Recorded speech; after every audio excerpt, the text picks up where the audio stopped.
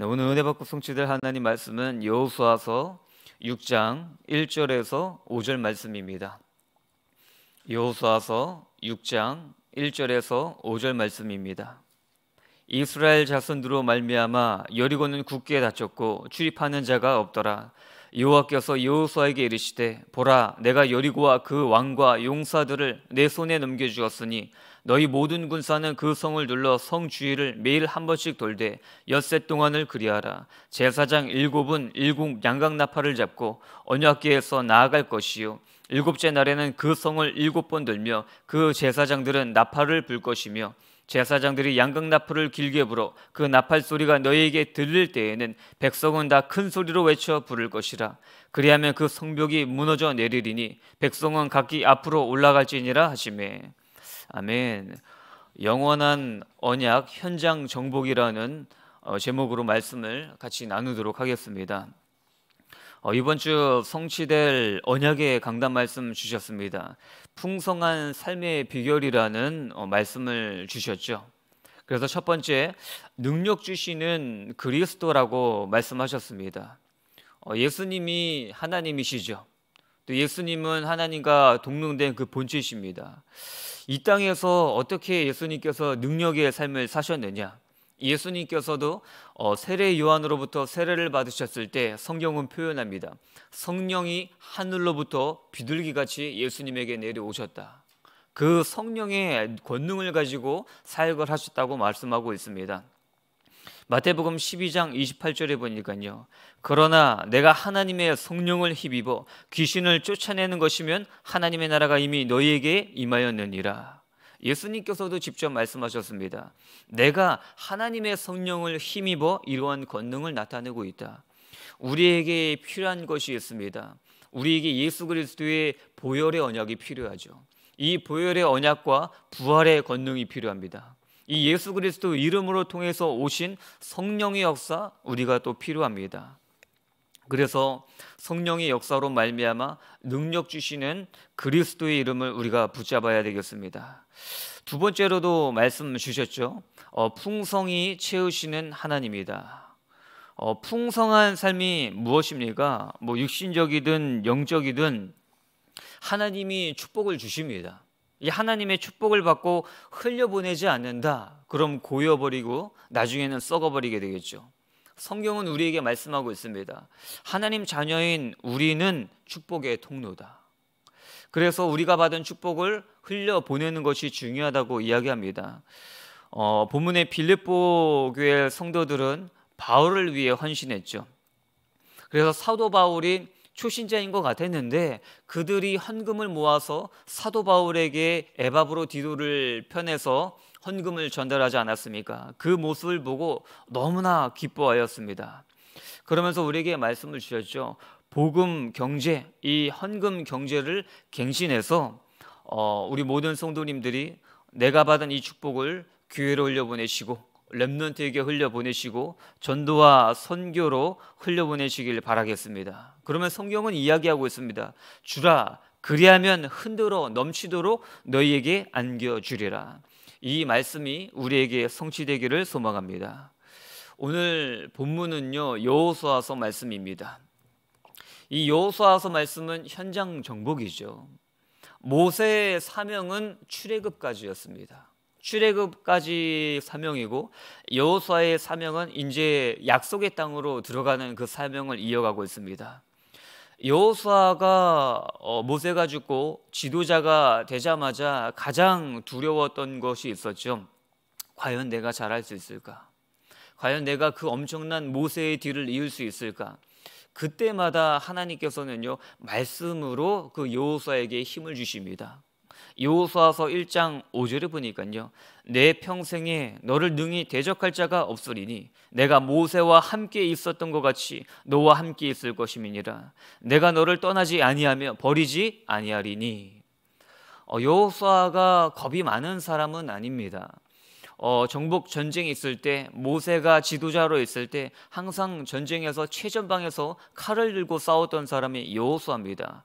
근데 그 엄청난 역할, 엄청난 그 책임이 지금 여호수아에게 있으니까는 두렵고 떨렸겠죠. 근데 하나님께서 뭐라고 말씀하시죠? 모세가 대단한 게 아니다. 모세는 나와 동행했을 뿐이다. 이제 내가 너와 동행할 것이다. 그렇게 해서 여호수아를 살려 주십니다. 여호수아가 모세의 오른팔로 40년 동안 있으면서 하나님의 큰 기적과 역사를 다 바라보지 않았습니까? 열 가지 기적을 바라봤고요. 또 유월절 어린 양의 보혈이 흘려졌을 때 어떤 역사가 일어났는지, 홍해 바다를 어떻게 가르셨는지, 어, 광야에서 구름 기둥, 불 기둥으로 어떻게 인도하시고 만나와 메추라기를 어떻게 먹이시고 물이 필요했을 때 반석에서 물이 터지게 하시고 이 수많은 기적들 하나님이 여호수아 너와 함께 동행하고 일으키실 것이다. 이렇게 말씀하고 있습니다. 이 시대의 여호수아가 우리 아닙니까? 우리는 이 땅 1인 1 교회화를 위해서 현장을 정복해 나아가고 있습니다. 그래서 하나님께서는요, 어떻게 동행하시죠? 반드시 강단 말씀으로 우리와 동행하시고 그 말씀을 통해서 강하고 담대한 은혜를 부어 주실 줄 저는 확신합니다. 어, A.W. 토저 목사님은 이런 말씀을 하셨습니다. 하나님의 음성을 듣는 그 사랑에 사람의 음성을 들어라. 이게 무슨 말입니까? 하나님의 음성을 듣는 사람, 주의 종의 음성을 따라가라는 거예요. 우리에게 주의 종의 음성은 강단의 말씀입니다. 이 가장, 가장 정확한 강단의 말씀, 하나님의 음성을 따라가시는 우리 성도님들 다 되시길 바라겠습니다. 첫 번째로 승리의 확신입니다. 오늘 본문의 1절 보니까요. 이스라엘 자손들로 말미암아 여리고는 굳게 닫혔고 출입하는 자가 없더라. 38년 전에 모세가 12명의 정탐꾼을 보냅니다. 그때 가나안 땅을 보고 옵니다. 그때랑은 분위기가 180도 다르죠. 그때는 분위기가 어땠죠? 문이 닫히고 간담이 녹았던 사람들은 이스라엘 사람들이었어요. 그들은 거인입니다. 가나안 땅은 좋은데 우리는 쳐들어가지 못합니다. 근데 38년이 지난 지금 여호수아 이때는요 분위기가 다르죠.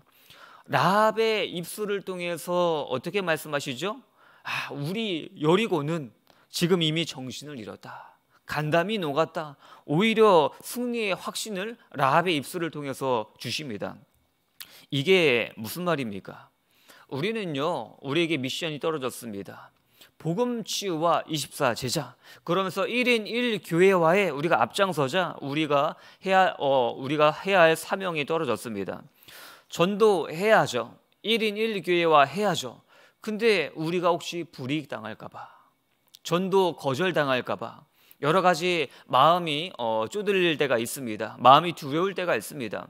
근데 영적인 사실은 뭐죠? 우리가 정확한 언약을 갖고 가면요. 간담이 녹을 상대는 우리가 아니라 바로 현장이다. 현장에 있는 흑암은요, 이미 간담이 녹았고 정신이 잃은 줄 저는 확신합니다.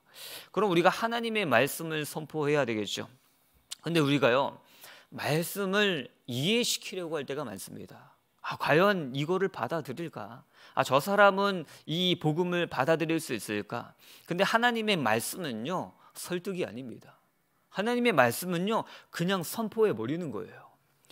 우리가 비행기를 탈 때, 아, 이 비행기가 이 무거운 어, 쇳덩어리가 어떻게 하늘을 나를 수 있는지 다 과학적으로 이해하고 타는 거 아닙니다. 그냥 항공사를 믿고, 그 다음에 기장을 믿고, 그 다음 믿고 타는 거죠. 하나님의 말씀도요, 아, 내가 다 이해하고 그러면 이 사람이 믿겠지. 그게 아니라 선포하면요, 성령이 역사하셔서 믿음을 주시게 돼 있습니다.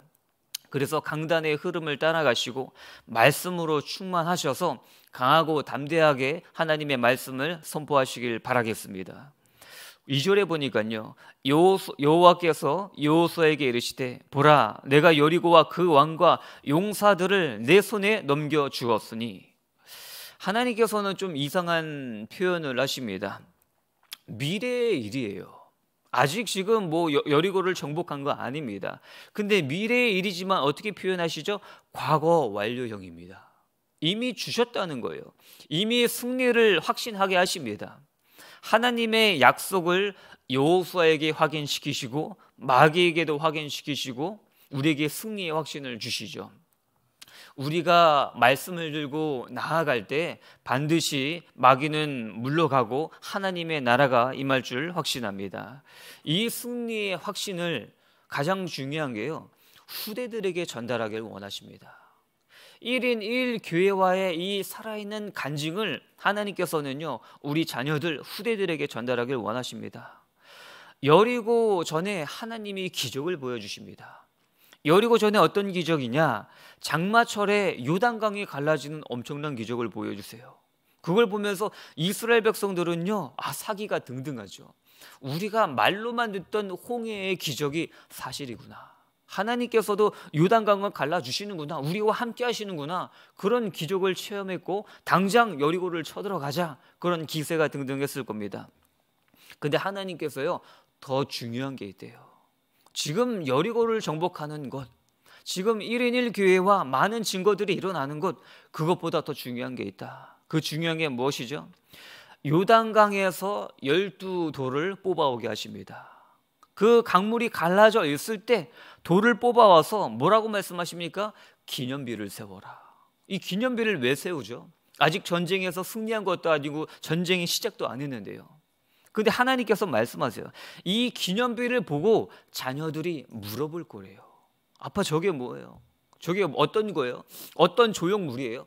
그럴 때 말해주라는 거예요. 아들아, 딸아, 아버지가 죽을 뻔했는데 너무나 고생 많이 할 뻔했는데 하나님께서 살리셨구나. 어떻게 살리셨습니까?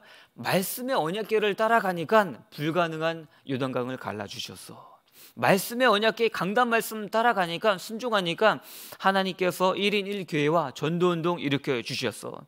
그 귀한 언약을 자녀들에게 전달하시는 우리 성도님들 되시길 바라겠습니다.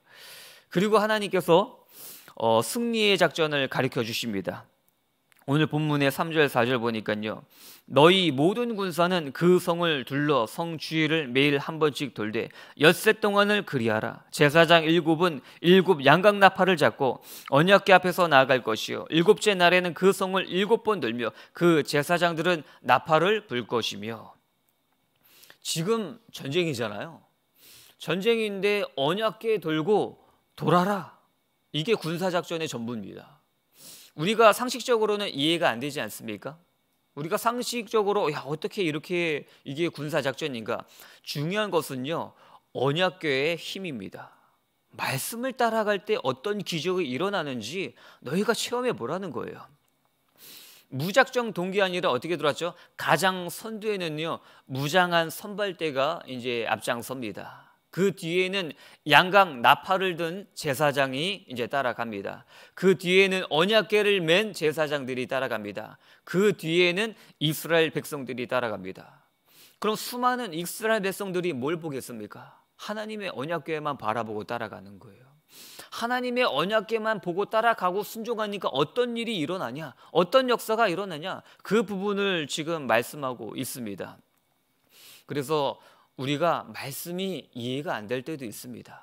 말씀이 우리 상황에 안 맞을 것 같다고 생각될 때도 있습니다. 그러나 가장 정확한 시간표에 나의 가장 정확한 하나님의 말씀을 지금 강단을 통해서 주시고 계시다. 이런 확신을 가지고 어, 순종하는 우리 성도님들 되시길 소망합니다. 두 번째, 원네스 리더십입니다. 오늘 본문의 5절 보니까요. 제사장들이 양각 나팔을 길게 불어 그 나팔 소리가 너희에게 들릴 때에는 백성은 다 큰 소리로 외쳐 부를 것이라. 그리하면 그 성벽이 무너져 내리리니 백성은 각기 앞으로 올라갈지니라 하시매. 지금 백성들이 뭐라 그러죠? 각기 제각각 소리를 내라. 시끄럽게 그냥 떠들어라. 이게 아니라 신호를 주면 한 목소리로 크게 외쳐 부를 것이라. 하나가 되라는 거예요. 성경에서 언제 흑암이 무너집니까? 성경에서 언제 영적인 대각성 운동이 일어나고 하나님의 엄청난 기적이 일어납니까? 반드시 말씀으로 하나가 될 때 이런 기적이 일어났습니다. 우리가 돌아오는 주일날 2시 반에 전교인 원네스 세미나가 진행됩니다. 이거 도대체 왜 합니까? 각자 알아서 1인 1 교회하고 복음 치유받고 24 제자 하면 되지. 왜 굳이 모여서 우리가 왜 다짐을 하고 말씀을 붙잡고 해야 되겠습니까? 이 영적인 비밀이 있는 거예요. 전교인이 하나님의 말씀, 담임 목사님이 선포하시는 그 말씀을 붙잡고 한 목소리를 내기 위해서 왜? 그때 기적이 일어나거든요. 그때 성령이 역사하시거든요. 우리가 모여서 한 목소리를 낼 때 영적인 흑암 완전히 무너질 줄 확신합니다. 이게 영적인 진리입니다. 그리고 말씀을 받았으면 어떡하죠? 거룩한 침묵을 또 준비해야 됩니다. 오늘 본문의 10절에 보니까요. 여호수아가 명령합니다. 여호수아가 백성에게 명령하여 이르되 너희는 외치지 말며 너희 음성을 들리게 하지 말며 너희 입에서 아무 말도 내지 말라 그러다가 내가 너희에게 명령하여 외치라는 날에 외칠지니라 하고 사람의 특징이 있습니다. 또 이스라엘 백성들의 두드러진 특징이 있습니다. 불만불평이죠. 아 이게 정말 하나님께서 요단강 쫙 갈라 주셨으면 칼도 있고 활도 있고 창도 있고 아, 멋있게 전쟁에서 승리하면 얼마나 화끈합니까? 근데 뭐 그런 거 다 필요 없이 언약계만 따라가래요. 마지막 날에는 힘들게 일곱 번 도래요. 그리고 한 소리로 외쳐 부르래요. 이게 상식적으로 이해가 갑니까? 전쟁 중인데 이제 전쟁의 시작인데 그 다음에 사기가 등등한데 근데 이스라엘 백성들이 분명히 딴 얘기할 거 아는 거예요. 우리가 전교인 원네스 세미나를 통해서 원단의 말씀을 붙잡고 1인 1교회와 우리가 합심으로 나아갑니다. 근데 분명히 다른 이상한 음을 내는 사람들이 있다는 거예요. 그럴 때 어떻게 하죠? 거룩한 침묵을 해야 된다. 우리 안에 상식적으로 이해가 안 되는 불신앙의 세력이 나올 때가 있습니다. 뭔가 불만 불평이 나올 때가 있습니다. 근데 지금 요호수아는 이야기하고 있습니다. 명령하고 있습니다. 음성을 들리게 하지 말라. 그 다음에 신호가 오면 그때 한 목소리로 외쳐라. 여리고 돌면요. 한 3일쯤 막 벽에 금이 가고 그 다음에 한 4, 4, 5일쯤 되면은 막 돌멩이가 막 떨어지고 뭔가 막 무너지는 상황이 눈에 보이면 얼마나 신나겠습니까? 와, 진짜 되네. 근데 이상해요. 하나님의 방법은요. 완전히 끝까지 100% 순종할 때 반드시 기적이 일어납니다. 중간중간에 막 일어나는 게 없어요. 그때 불신앙의 역할이 나오게 됐는데 하나님 분명히 말씀하시죠. 입을 닫고 말씀에 순종하라. 불신앙을 발설하지 말아라. 우리가 원네스 세미나를 통해서 하나님의 말씀을 붙잡고 그 다음에 우리가 한 목소리를 낼 때 원네스 되시는 그런 성도님들 되시길 소망하겠습니다. 결론적으로 말씀을 드립니다. 어, 요수아는요 항상 항상 날로 발전하는 사람이었습니다. 우리에게 강단에서 어, 결론적으로 말씀하셨죠. 뭐라고 말씀하셨죠? 업글 인간이 되라. 항상 업그레이드 발전하는 그런 하나님의 자녀가 되라. 우리에게 말씀을 주셨습니다. 모세는요 왕족이에요. 태어나면서부터 최고의 교육을 받은 엘리트 출신입니다. 하나님이 모세를 통해서 많은 사명을 완수하셨죠. 반면에 여호수아는요 태어나면서부터 노예였습니다. 배운 게 없어요. 교육 받아본 적이 없습니다. 근데 이게 무슨 의미를 가집니까? 개인의 능력은 너무나 부족하지만 상관없다는 거예요. 개인의 능력은 크게 의미가 없다는 거예요. 하나님이 동행하시기만 하면 위대한 사명으로 우리를 사용하실 줄 믿습니다. 영적인 것에서요. 정체된다. 아, 어제도 괜찮고요. 아, 오늘도 괜찮아요. 똑같아요. 이건 퇴보하는 겁니다. 영적인 삶에서요. 날로 날로 성장하는 것이 정상입니다. 그래서 여호수아와 같이 강단의 말씀에 절대 순종, 원단의 말씀에 절대 순종함으로 말미암아 업글 인간이 되시기를 소망하겠습니다.